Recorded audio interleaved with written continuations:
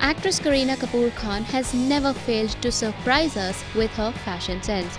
The lady had created a trend and rocked her pregnancy unlike anyone before, and now she does it again with her new photo shoot release. Sonam Kapoor's sister and producer Rhea Kapoor, along with Kareena Kapoor's manager, shared a series of photographs on their respective social media. Kareena is looking drop dead gorgeous, wearing a black tube, sweetheart neck, flow length gown, smoky eyes, and nude lips. So, what do you think of this Begum? Do let us know. Meanwhile, on film front, Kareena will be seen with her girl gang Sonam Kapoor, Swara Bhaskar, and Shikha Talsania in her next Veere Wedding. The film is a romantic comedy co-produced by Rhea Kapoor, Ekta, and Nikhil Dwivedi.